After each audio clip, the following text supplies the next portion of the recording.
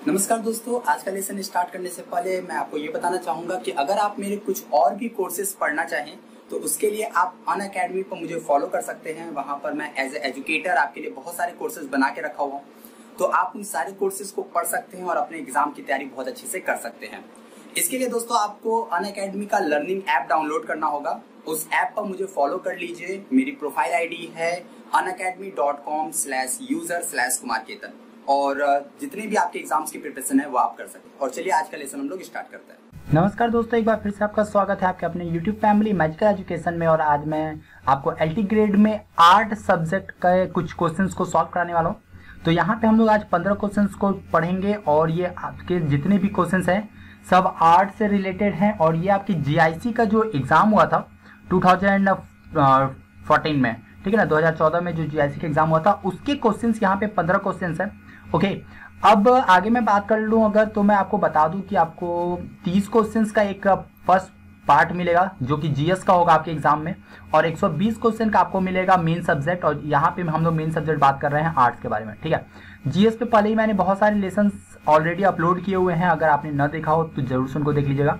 आज आर्ट का part number one है तो ऐसे ही आपको बहुत सारे लेसन आगे मिलते रहेंगे तो उन सबको अच्छे से देख लीजिएगा, ठीक है? और अपने एग्ज़ाम की कोई भी प्रिपरेशन से रिलेटेड दिक्कत आती है तो मुझे ज़रूर बताइएगा कमेंट बॉक्स में कमेंट करके।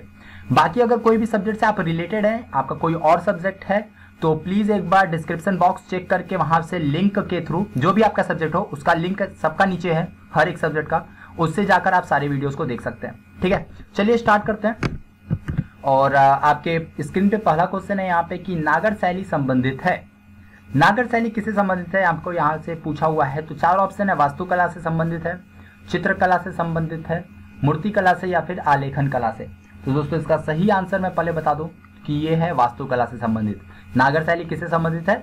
वास्तुकला से, ठीक है? एक्चुअली नागर शैली का जो संबंध है, वो भारतीय स्थापत्य कला से है और इस शैली में गुप्तकालीन अधिकांश मंदिरों का निर्माण करवाया गया था, ठीक है? इस शैली में मंदिरों का शिखर युक्त बनाया गया था मतलब मंदिरों पर शिखर बनाया गया था। और इस शैली में ही सबसे बड़े प्रसिद्ध मंदिर का उदाहरण अगर लिया जाए तो ललितपुर में जो देवगढ़ का दशावतार मंदिर है, वो इस शैली का सबसे प्रमुख उदाहरण आप कह सकते हैं उसको। नेक्स्ट क्वेश्चन है दोस्तों, कि गांधार कला शैली किस कला शैली से प्रभावित थी? आपको बताना है यहाँ पे गांधार कला शैली के बारे में। ये शैली किस कला से प्रभावित थी? तो यूरोपीय कला, या फिर ग्रीक कला, या फिर रोमन कला, या फिर प्राग प्राग ऐतिहासिक कला। तो इसका सही आंसर है दोस्तों, ग्रीक कला। गांधार जो है वो कला शैली आपकी ग्रीक कला शैली से प्रभावित थी। तो बी ऑप्शन आपका यहाँ पर राइट आंसर है। नेक्स्ट क्वेश्चन है दोस्तों कि राजा रवि वर्मा ने किस माध्यम में चित्रण कार्य किया? वो तैल चित्र में, या फिर जल रंग में, या पेस्टल रंग में, या फिर टेम्परा में? तो दोस्तों इसका सही आंसर है ए ऑप्शन तैल चित्र में। ठीक है? तो राजा रवि वर्मा जो कंपनी शैली में काम कार्य करने वाले पहले चित्रकार माने गए थे, और इन्होंने भारतीय पौराणिक विषयों पर तैल चित्रण विधि से चित्रों की रचना की थी। भारत में सबसे पहले तेल माध्यम से चित्रों की रचना करने का श्रेय किसको जाता है? राजा रवि वर्मा जी को जाता है। ठीक है? नेक्स्ट है दोस्तों की प्राग ऐतिहासिक चित्रों का मुख्य विषय क्या था? भूदृश्य चित्रण, व्यक्ति चित्रण, पशु आखेट या फिर पौराणिक। तो सही आंसर है दोस्तों इसका सी ऑप्शन पशु आखेट। प्रागैतिहासिक चित्रों का मुख्य विषय क्या था? पशु आखेट। ठीक है? इन्होंने आखेट का क्या मतलब होता है? हंटिंग शिकार करना ओके तो शिकार करना होता है, पशु पशु का शिकार करना ये मुख्य विषय हुआ करता था। और इसमें सैल खंडों पर गेरुए रंग के चित्रों का निर्माण किया गया है ओके चलिए नेक्स्ट है आपका कि भारतीय कला का स्वर्ण युग किसे कहा जाता है? मतलब किस युग को? प्रागैतिहासिक युग या फिर गुप्त युग या मुगल युग या आधुनिक युग। चारों में से किस युग को भारतीय कला का स्वर्ण युग माना जाता है? तो इसका बी ऑप्शन आपका गुप्त युग, बिल्कुल सही आंसर है, ठीक है? तो भारतीय कला का जो स्वर्ण युग है, वो किसको कहा जाता है? गुप्त काल को कहा जाता है। गुप्त काल में हिंदू धर्म, जैन धर्म और बौद्ध बौद्ध धर्म से संबंधित कलाओं का निर्माण कराया गया था। और इस समय मुख्यतः वास्तुकला पर बहुत ज़्यादा ज़ोर दिया गया। गुप्त काल में ही निर्मित जो मंदिर हैं, वो गुप्त काल की भारतीय कला का प्रमुख देन मानी जाती है। ठीक है? नेक्स्ट है दोस्तों की चित्रकला का प्राचीन नाम क्या था? रूप भेद, शिल्प, आलेख्य या फिर रचनात्मक? रचनात्मकता। तो सही आंसर इसका दोस्तों आपका बी ऑप्शन शिल्प चित्रकला का पुराना नाम क्या था? शिल्प था। ठीक है? अब तो सिर्फ़ चित्रकला ही नहीं एक्चुअली प्राचीन पौराणिक ग्रंथों में सामान्यतः पहले चित्रकला और वास्तुकला, इन दोनों के लिए ही शिल्प कला का प्रयोग किया जाता था। तो यहाँ पे आपका बी ऑप्शन राइट आंसर है। नेक्स्ट क्वेश्चन है दोस्तों कि संसार की सबसे पुरानी लिपि कौन सी है? ब्राह्मी लिपि, कुटिल लिपि या फिर शारदा लिपि या फिर देवनागरी लिपि? तो दोस्तों, इसका ए ऑप्शन राइट आंसर है। ब्राह्मी लिपि जो है, वो संसार की सबसे पुरानी लिपि है। और ये मौर्य सम्राट बौद्ध के प्रचार के लिए जो स्तंभों पर ब्राह्मी लिपि से, के ही लेख खुदवाए गए थे एक्चुअली ठीक है ना? जो मौर्य सम्राट थे, उन्होंने बौद्ध धर्म के प्रचार के लिए स्तंभों पर कौन सा लिपि यूज़ किया था? ब्राह्मी लिपि। इनको पढ़ने में, जिनको पढ़ने में सन अठारह सैतीस सेवन अठारह ईस्वी में जेम्स प्रिंसेप इन्होंने सफलता प्राप्त की सबसे पहले। तो अठारह में सबसे पहले जेम्स प्रिंसेप प्रिंसेप। इन्होंने सबसे पहले इसको पढ़ पढ़ पाए थे ये ब्राह्मी लिपि को। ओके। नेक्स्ट क्वेश्चन है कि गेरू है। गेरू क्या है? पेस्टल है, भूमिज रंग है, जल रंग है या इनमें से कोई भी नहीं? तो सही आंसर है दोस्तों आपका बी ऑप्शन भूमिज रंग। गेरू एक प्रकार का भूमिज रंग है। ओके। प्रागैतिहासिक काल से ही गेरू रंग का प्रयोग होता है, जिसको आप गेरुआ रंग भी कहते हैं। जो भूमि से प्राप्त किया जाता है इसी कारण से इसको भूमिज रंग भी कहते हैं ठीक है? और प्रागैतिहासिक कालीन चित्रों में अधिकांशता जो है जो भी चित्र का प्रयोग किया गया वो सब गेरुए रंग से ही उनका यूज़ हुआ है। नेक्स्ट क्वेश्चन है कि खंडगिरी तथा उदयगिरी ये कहाँ पर है? ये दोनों जगह जो आ, किस राज्य में है किस स्टेट में है? तो मध्य प्रदेश उत्तर प्रदेश उड़ीसा या फिर पश्चिम बंगाल?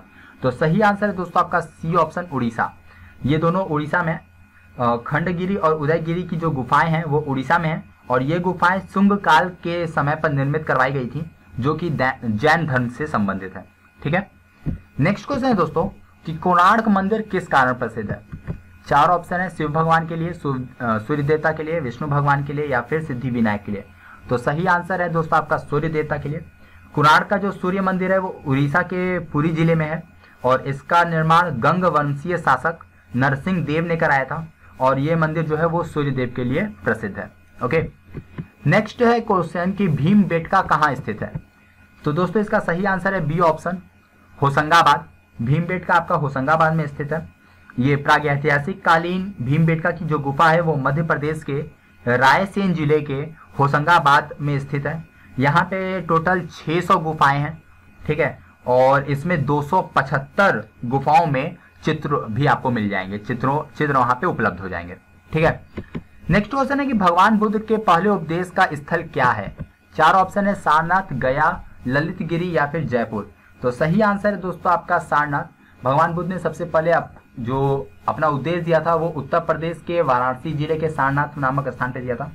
बौद्ध धर्म के संस्थापक भगवान बुद्ध माने जाते थे और इन्होंने ज्ञान प्राप्ति के लिए अपना पहला उपदेश कहा दिया था? वाराणसी में जो सारनाथ है, वहाँ पे दिया था। ठीक है? नेक्स्ट क्वेश्चन दोस्तों की धातु से बनी नृत्य करती नृत्यकी मूर्ति की खोज हुई। कहाँ से हुई? हड़प्पा से, मोहनजोदड़ो से, या फिर मिस्र से, या फिर मेसोपोटामिया से? तो सही आंसर है दोस्तों आपका बी ऑप्शन मोहनजोदड़ो से। ठीक है? तो सिंधु सभ्यता के दो प्रमुख नगर माने जाते हैं, हड़प्पा और मोहनजोदड़ो। ये दोनों क्या है? सिंधु सभ्यता के दो प्रमुख नगर हैं। इन दोनों पर मैंने प्रॉपर वीडियो भी बना के रखा हुआ है। आप चाहो तो देख सकते हो। इसमें मोहनजोदड़ो की खुदाई हुई थी दोस्तों आपका 1922 में। और इस वक्त खालस दास बनर्जी ने करवाई थी 1922 में जो ये खुदवाई थी। यहाँ पे कांसे की, ब्रॉन्ज की, कांसे निर्मित नर्तकी की मूर्ति प्राप्त हुई थी। नृत्य करती हुई एक नर्तकी की मूर्ति मूर्ति प्राप्त हुई थी। ठीक है? नेक्स्ट क्वेश्चन है कि फ्रेस्को बुनो कौन सी पद्धति है? चार ऑप्शन है, सूखी, न सूखी, न गीली, या फिर गीली, या फिर तीनों ही ऑप्शन गलत है। तो दोस्तों, इसका सी ऑप्शन सही है। फ्रेंस्को बुनो जो है, वो एक गीली पद्धति है। फ्रेस्को चित्रण, एक भित्ति चित्रण भित्ति चित्रण विधि है। और फ्रेंस्को बुनो में गीली भित्ति पर चित्रकारी की गई है, ठीक है? या की जाती है, ये भी आप कह सकते हो। तो एक प्रकार की ये कैसी पद्धति है? गीली पद्धति है। लास्ट क्वेश्चन है इस लेसन का, दोस्तों, कि अजंता की गुफाओं की खोज कब हुई? चार ऑप्शन दिया है तो चारों में से आपका जो बी ऑप्शन है 1819 ये सही है। मतलब 1819 में अजंता की गुफाओं की खोज की गई थी। अजंता की गुफाएँ दोस्तों महाराष्ट्र में है। महाराष्ट्र नाम का जो राज्य है हमारे इंडिया में। और यहाँ पे टोटल तीस गुफाएँ हैं। ये गुफा बौद्ध धर्म से संबंधित है। इन गुफा की खोज 1819 में हुई थी, जैसा कि अभी मैंने बताया। और इन गुफाओं का निर्माण, जो मैक्सिमम निर्माण है, वो मैक्सिमम आपका गुप्त काल में करवाया गया था। ओके तो ये थे दोस्तों कुछ क्वेश्चंस पंद्रह क्वेश्चंस थे यहाँ पे आपको आ, कला से संबंधित जो कि एल ग्रेड के एग्ज़ाम्स के लिए बहुत इंपॉर्टेंट है। तो ये सारे लेसन आपके लिए आप बहुत ही उपयोगी होंगे। अगर आप सारे लेसन देखते हो तो उसके लिए सब्सक्राइब करके बेल ऑन कर लीजिए। और लाइक कमेंट शेयर करना बिल्कुल भी मत भूलिएगा दोस्तों। ठीक है? तो आप अपनी ज़िम्मेदारी निभाओ। मैं फटाफट आपको बहुत सारे लेसन प्रोवाइड कराता जाऊँगा हर एक सब्जेक्ट से और उनको आप देखते रहो। ठीक है? तो जल्दी मिलते हैं एक नए लेसन के साथ। तब तक के लिए बाय बाय